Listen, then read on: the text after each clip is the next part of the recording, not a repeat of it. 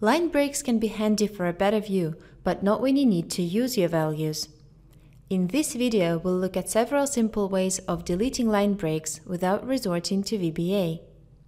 If you want to remove carriage returns just once, you can use the standard Find and Replace tool in Excel. You can open it from the Home tab or press Ctrl plus H on your keyboard.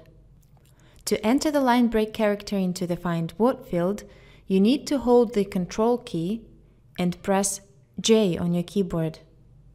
You will see the cursor change to a little dot.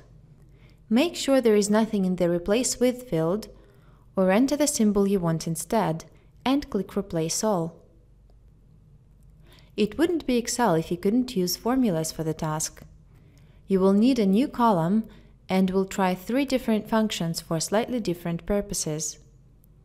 Perhaps the simplest formula you can use is equals clean that will remove all non-printing characters, including line breaks, from the cell you enter in brackets. Another function that works great for replacing carriage returns is the substitute function. Enter equals substitute, open parenthesis, add a reference to your cell, and then you need to add the character code for the line break. There are two of them, 10 and 13.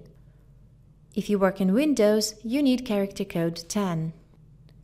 Introduce the replacement, empty quotes for nothing, or any symbols you prefer, like a comma and a space. To add another character code to the same formula, include another substitute function. Wrap the one you have in brackets, enter the other character code, and the replacement. If you introduce other symbols, you can make sure no extra spaces appear by including the trim function into this formula here is what you'll get. Equals trim and your current formula enclosed in parentheses. Now that you have your formula, you need to apply it to other cells. As you may know, the quickest way to do it is pointing to the lower right corner of the pattern cell until you see a black plus sign and double-clicking it. Now you can copy the results and paste them back as values that you can use for your work. Let me also show you how to remove line breaks or any other extra characters with the help of Cell Cleaner, our special add-in for Excel.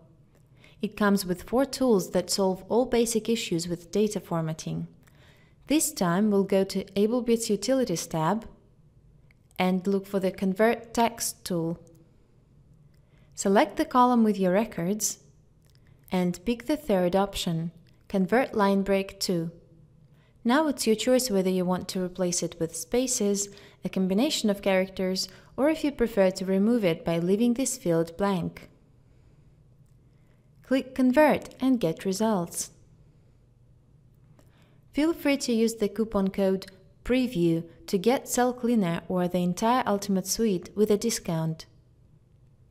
Line breaks in Excel shouldn't be an issue for you anymore, but if you have any questions, please post them as comments. We'll do our best to help you.